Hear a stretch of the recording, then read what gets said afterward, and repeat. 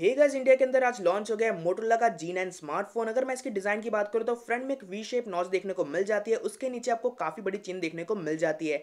Back की तरफ़ वहीं पे आपको ट्रिपल रेड कैमरा का सपोर्ट मिल जाता है बॉक्सी स्टाइल के साथ। नीचे ही उसके आपको फ़िज़िकल फिंगरप्रिंट स्कैनर भी देखने को मिल जाता है। बैक और फ्रेम दोनों ही आपको प्लास्टिक के देखने को मिल जाती है। दो कल ऑप्शन मिल जाएँगे ब्लू और green three point five audio jack मिल जाएगा सी टाइप पोर्ट भी मिल जाएगा। दो सौ ग्राम का स्मार्टफ़ोन आपको देखने को मिल जाता है eight nine point one eight M M thickness पे। डिस्प्ले की बात करूँ तो इसके अंदर आपको सिक्स पॉइंट फाइव इंचज के एक एच डी प्लस वाली सेवन ट्वेंटी पे डिस्प्ले देखने को मिल जाती है IPS LCD twenty ratio nine का एक्सपेक्ट रेशो मिल जाता है और इसके अंदर आपको पिक्सल डेंसिटी मिल जाती है टू सिक्सटी नाइन की। वहीं पे इसके अंदर आपको स्नैपड्रैगन का सिक्स सिक्सटी टू वाला प्रोसेसर देखने को मिल जाएगा फोर जीबी की रैम मिल जाएगी एल पी वाली, वहीं पे आपको सिक्सटी फोर जीबी का स्टोरेज ऑप्शन मिल जाएगा, उसको आप एक्सपांड भी कर सकते हैं। बैक में आपको जैसे मैंने बताया ट्रिपल रेड कैमरा का सपोर्ट मिल जाता है प्राइमरी आपको फोर्टी एट मेगापिक्सल का मिलता है, दो मेगापिक्सल का एक मैक्रो लेंस मिलता है और दो मेगापिक्सल का एक डेप सेंसर मिलता है। वहीं पे सेल्फी की बात करूँ तो आपको एट मेगापिक्सल की देखने को मिल जाती है। इसके अंदर आपको फाइव थाउज़ेंड एमएच की बैटरी मिल जाती है with twenty watts fast charging support इसके अंदर जैसे मैंने बताया, एक ही वेरियंट मिलता है फोर सिक्सटी फोर इसकी इंडिया में प्राइस है eleven thousand five hundred rupees इसकी फ़र्स्ट सेल होगी थर्टी फ़र्स्ट ऑगस्ट को,